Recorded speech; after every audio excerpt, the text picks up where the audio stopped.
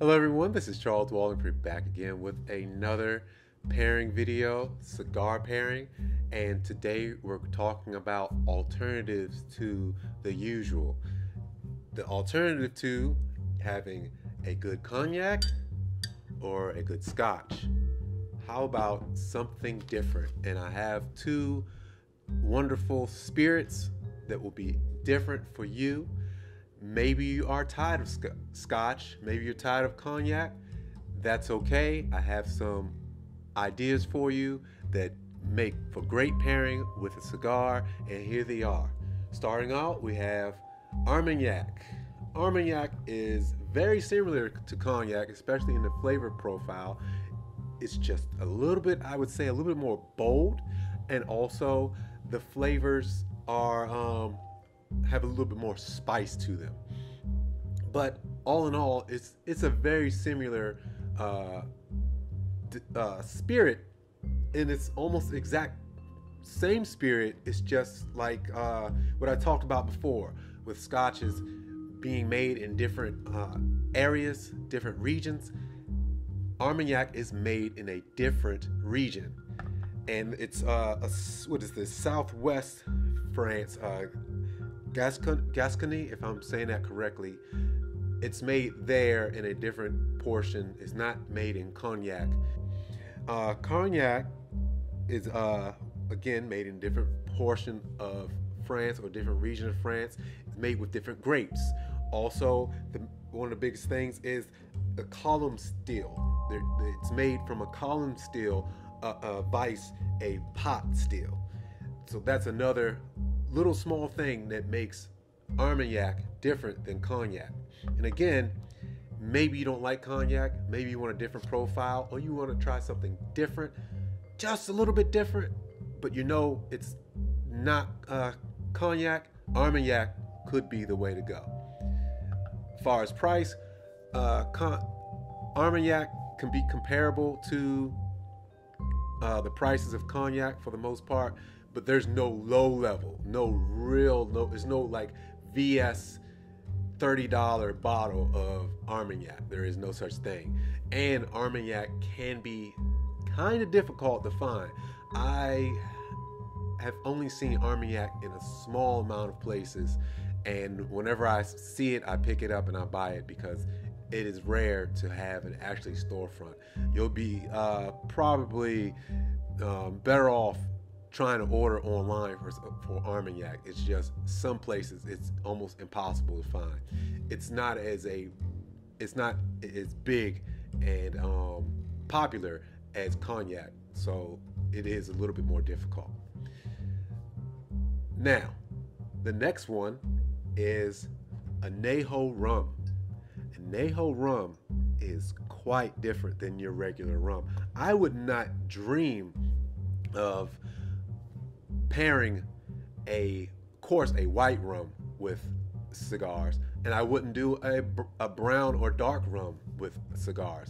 Only would i consider pairing a, a cigar in rum would be a añejo rum. Now añejo rum is the translation is just simply aged rum.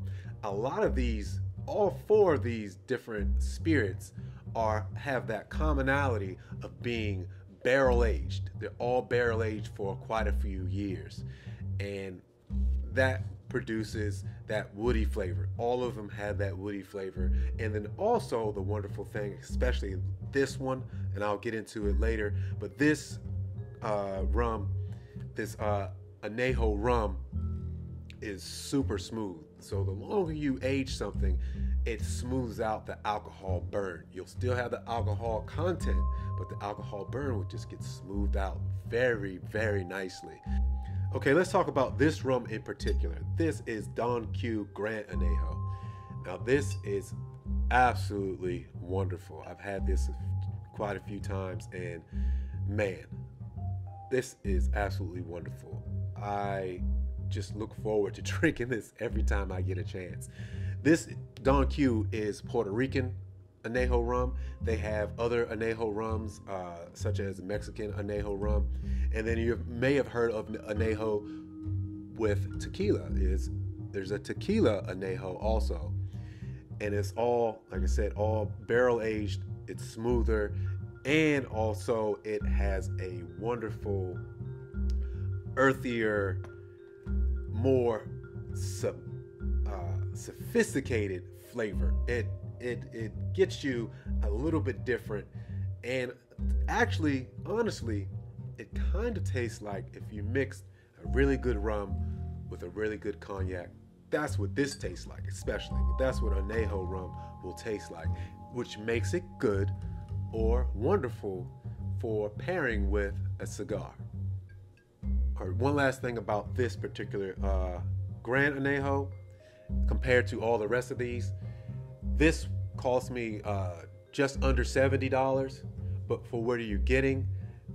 Rum is much cheaper. Rum is much cheaper than all of these. All of these, these, uh, so all these spirits.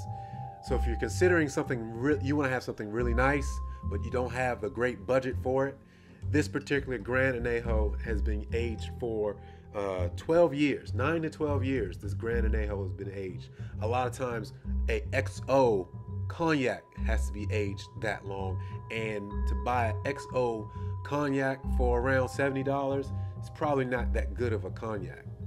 Um, a lot of times, if I, ha- I buy a cheaper cognac company, a brand that doesn't uh, warrant high prices, if I would just buy their XO, and their XO is as good as um, some bigger names VSOP.